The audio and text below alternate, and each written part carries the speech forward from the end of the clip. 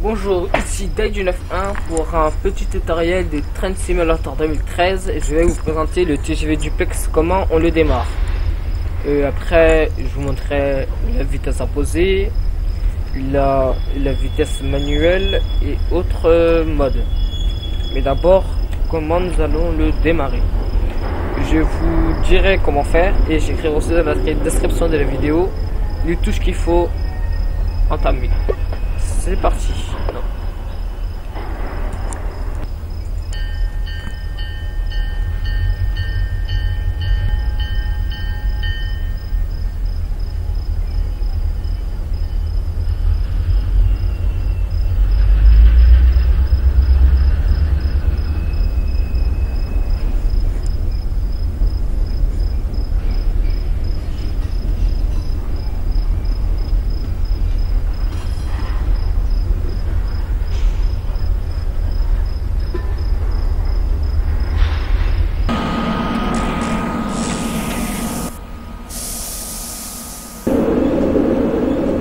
petit Partie 1. D'abord, on va démarrer le TGV. Donc, on sent un peu. W. Ceci démarre le TGV. Ensuite, P pour le pantographe. Appuyez sur 2. On va mettre le pantographe à l'avant. Donc, vous appuyez sur Maj plus T. Il faut que ces pantographes là, là, soient montés. On retourne dans la cabine. Ensuite, vous appuyez sur O. Ensuite, sur la touche de, euh, Z pour la marche avant. S, c'est pour la marche arrière. Et moi, je vais aller en marche avant. Donc, comme vous, si vous avez le scénario, en marche avant. Ensuite, on va faire le test de la VACMA. V-A-C-M-A. Donc, on appuie sur la touche K. Et quand vous entendez euh, un son, vous appuyez sur la touche espace. Voilà. Ensuite, on coupe le, le test VACMA avec la touche K encore. Ensuite, on doit couper là avec moi, donc on fait maj plus K. Voilà, normalement là, je sais pas si vous voyez, là il y a écrit Vacma il y a une croix, donc ça veut dire que ça a été coupé. Ensuite, on va se mettre en mode, ici c'est M, donc vous avez vu ça touche E. Voilà, la touche CM, c'est la touche, c'est une commande manuelle. Donc ça dire c'est vous qui limitez les, les vitesses à laquelle vous voulez rouler. Ensuite, euh, la touche M, c'est pour desserrer les freins, qui se trouve euh, ici. Et la touche, comment ça s'appelle Euh, La touche pourcent, c'est pour serrer les freins. Bon, on va desserrer les freins. Enfin non, puisque là comme ouvrir les portes, donc faut laisser à 70. Voilà. Ça, c'est les voyageurs. Ensuite, euh, vous avez la touche Q et D pour Q pour accélérer, D pour ralentir. Vous avez la touche euh, les phares, j'ai oublié la touche et c'est bien dommage. Sinon, vous avez le bouton ici. Vous appuyez dessus et ça met les phares. Ensuite, V pour les essuie-glaces. I pour le pare-soleil qui se trouve ici. hein? En haut, vous avez U, c'est pour la lumière dans la cabine. Et après, on appuie sur U pour éteindre la lumière. Vous avez entrée qui est pour le klaxon. Ensuite, quand vous passez en vitesse imposée, vous appuyez sur 2 et vous allez sur VI. Ensuite, vous zoomez. Et là, vous avez la touche R, c'est pour maintenant. Vous avez la touche F pour, pour vous mettre à la vitesse imposée. Comme la vitesse imposée c'est 30. Donc, ça veut dire que le train, il va, il va démarrer tout seul. Il va limiter la vitesse à 30. Et si vous voulez diminuer, vous appuyez sur la touche R. Ensuite, et si vous voulez revenir en vitesse manuelle, vous faites maj et vous appuyez sur E et vous retournez sur le mode CM. Euh, Est-ce que j'ai oublié quelque chose d'autre? Hum, Poser la limite. Bon, c'est parti. Donc là, j'appuie sur la touche M pour desserrer d'abord. Comme vous le voyez, là, ça descend. Le pantographe, on s'assure que c'est bien mis. On va activer euh, les essuie-glaces. Et c'est parti. On appuie sur la touche Q. Ah, mais ma vitesse, elle est limitée. la demande de signalement de passage est refusée aussi. C'est très très dommage. Donc là, comme vous voyez, là, je suis en mode euh, manuel. C'est moi qui, qui faut monter et descendre euh, les manettes.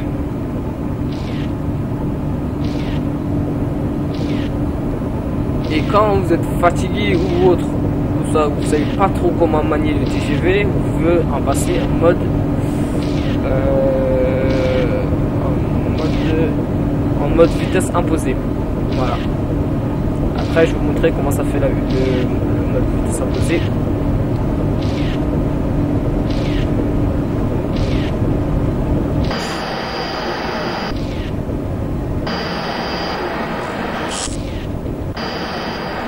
Ferai pas une longue vidéo jusqu'à la fin, je vais couper euh, au bout d'un moment. Parce que j'ai d'autres vidéos à faire sur, sur Train Simulator 2013. Le plus, ce Train Simulator 2013, vous pouvez le craquer facilement. Il est gratuit et téléchargeable. Voilà, là je vous ai montré en mode manuel. Maintenant, je vais vous montrer en mode vitesse imposée. On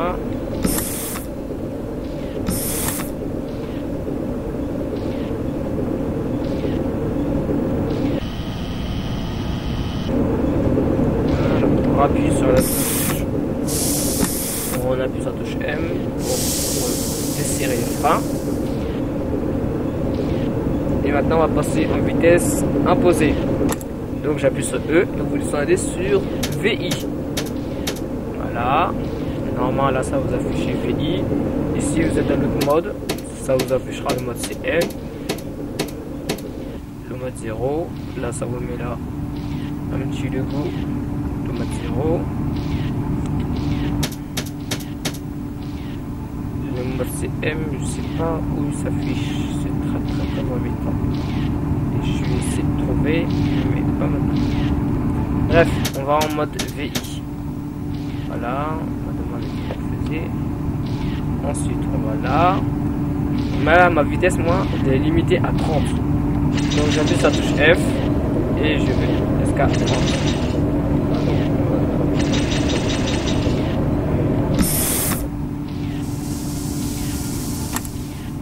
c'est-à-dire que là j'appuie sur le touche F et je me mets à 30. C'est des distances de 0, 10, 20, 30, 40, etc.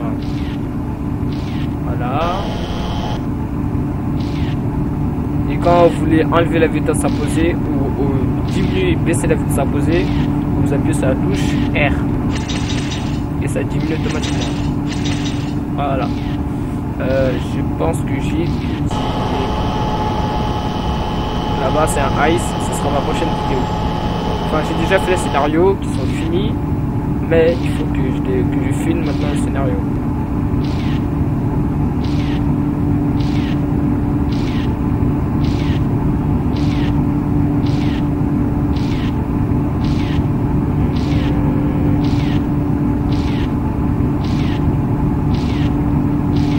Toute question, euh, vous pouvez laisser un message sur euh, dans les commentaires sous la vidéo. Voilà. Je que le signal soit accepté je vais vous montrer comment ça fait en vitesse imposée. Puisque la vitesse manuelle, vous venez de la voir. On va attendre un petit peu.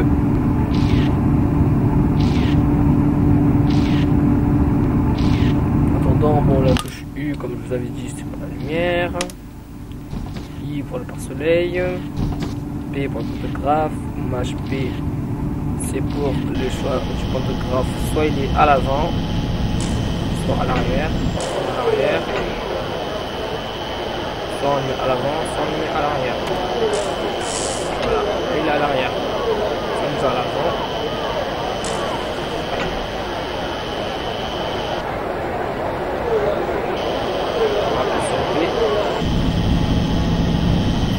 Ah, bah à l'avant. Bref, c'est pas très très important. Euh, je sais pas, je sais pas quel mode là.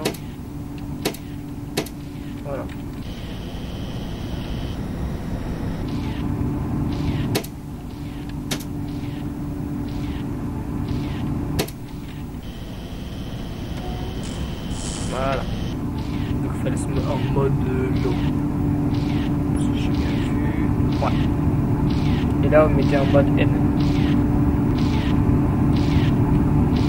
Le bip c'est la touche A. L'avertisseur c'est la touche entrée, c'est pour le klaxon. Euh... La touche effacer quand, comme quand on veut effacer du texte, bah c'est ça, pour arrêter le train en urgence. Donc comme là je l'ai arrêté, donc là je suis obligé de retourner.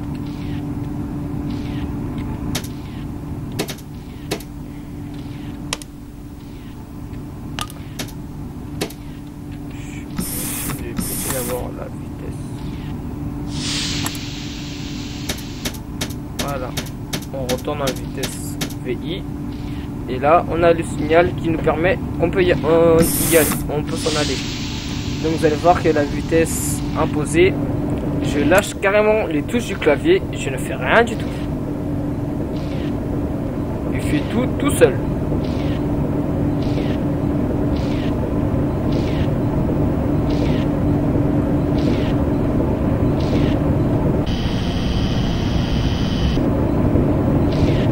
J'ai carrément les mains derrière la tête. Veut dire que je peux même lire un journal, le train roule tout seul juste, juste faire attention, juste à faire attention quand vous devez diminuer la vitesse, bah là faut toucher un peu.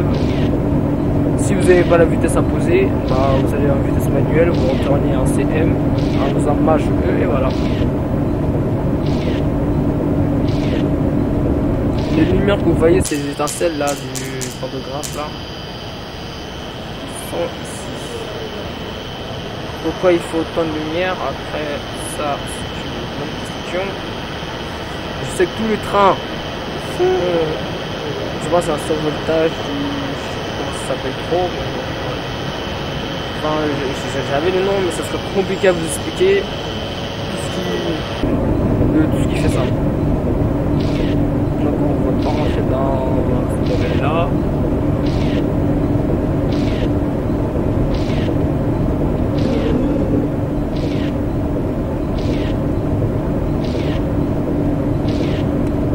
La vitesse VI n'est pas très, pratique finalement.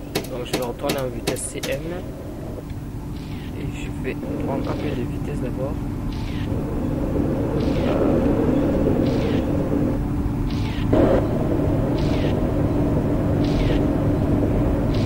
Comme ça après, on retourne en vitesse CM et là je vous montre.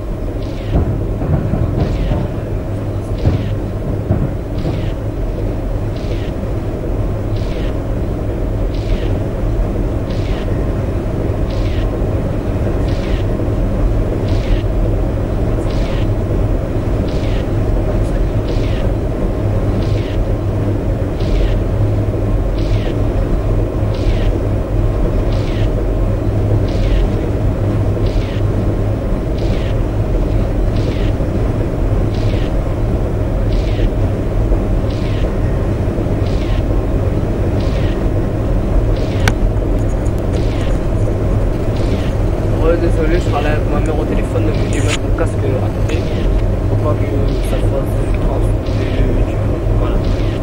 Bon, on va arriver à la limite du 120 et là je vous mets en vitesse imposée et après, fin de la vidéo. Les prochaines vidéos, ce sera soit les ICE, soit un DB, soit un ZR, euh, le RER que vous voyez dans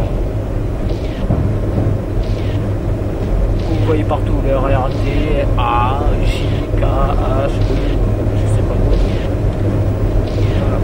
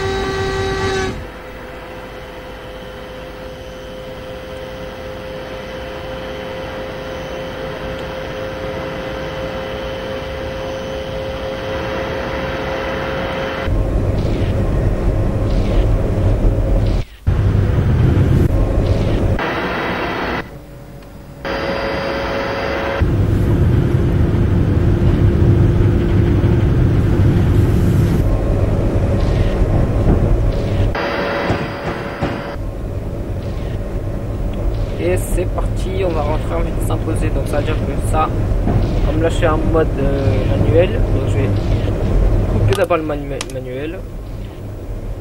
Ça on touche, c'est pratique. Voilà, à 0. Vous appuyez sur E. Voilà. J'appuie sur F. Ça, ça monte. 110.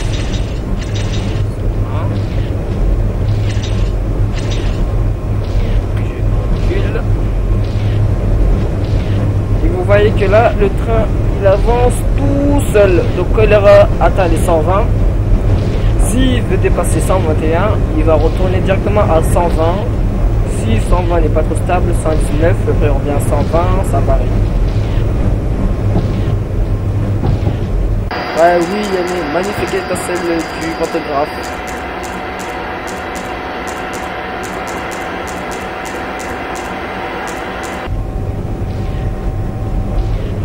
Pour d'autres, ça peut être cool, comme pour d'autres, ça peut être gênant. Pour moi, personnellement, c'est pas gênant, donc moi je pense. Parce que même un conducteur, quand il, conduit, son TGV ou un métro ou autre, enfin, métro, enfin, ou autre, il y a de la lumière. Moi, je suis habitué à ça depuis je temps maintenant, voilà. Sur ce, je vous dis à la prochaine vidéo que je vais partager sur YouTube que je ferai et qui devrait arriver dans quelques temps. Sur ce, au revoir, c'était Day 91.